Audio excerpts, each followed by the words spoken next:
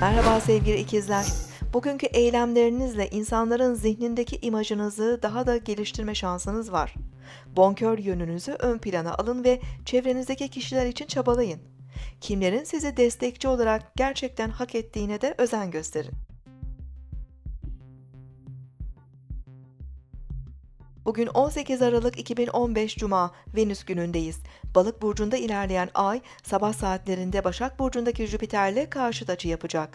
İyimser ve idealist enerjiler ruh halimizi olumlu etkileyebilir. Güçlü sezgilerimiz günlük işlerimizde yol gösterici olabilir. Çevremizdeki kişilere karşı daha duyarlı olabiliriz.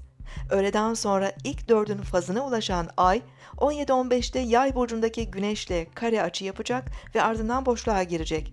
Duygu ve düşüncelerimiz arasında gergitler hissedebiliriz.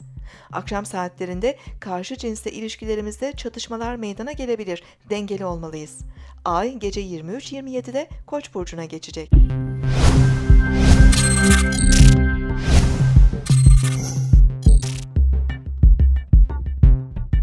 Bu akşam seminerimizi canlı olarak mobil uygulamamız üzerinden yapıyoruz.